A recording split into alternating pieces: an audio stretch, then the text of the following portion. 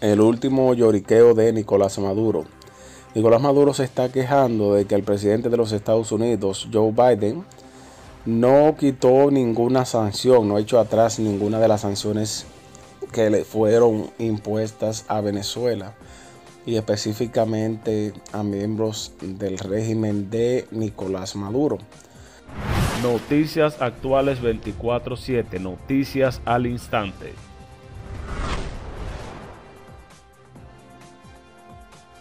Aquí estamos viendo a un dictador muy preocupado de culpando al presidente de los Estados Unidos de incumplir supuestamente lo que prometió, pero recordemos también que la dictadura se fue a un diálogo en México y no cumplieron con la permanencia ni con lo establecido. Se retiraron de la mesa de negociación en cuanto se enteraron de que Alex Sack fue extraditado a los Estados Unidos, porque ellos en este monopolio, en este ajedrez, en este rompecabezas, quieren ser los que ponen, cambian y quitan las reglas.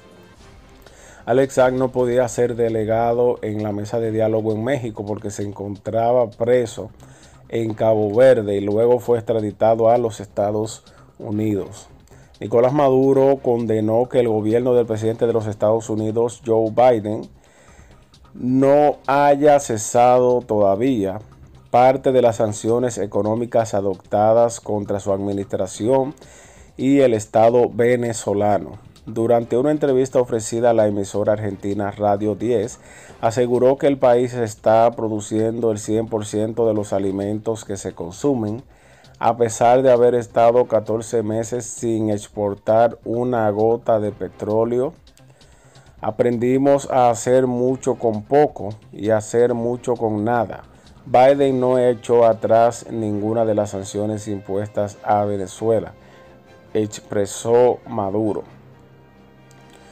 La presión ejercida por sectores empresariales y productivos en el país, como en los Estados Unidos, llevaría al presidente de Estados Unidos, Joe Biden, a flexibilizar las sanciones y entenderse con Nicolás Maduro, pese a que esté acusado por crímenes de lesa humanidad y se pida por su cabeza en la propia nación norteamericana hasta la cifra de 15 millones de dólares por su captura por estar presuntamente involucrado con el narcotráfico internacional.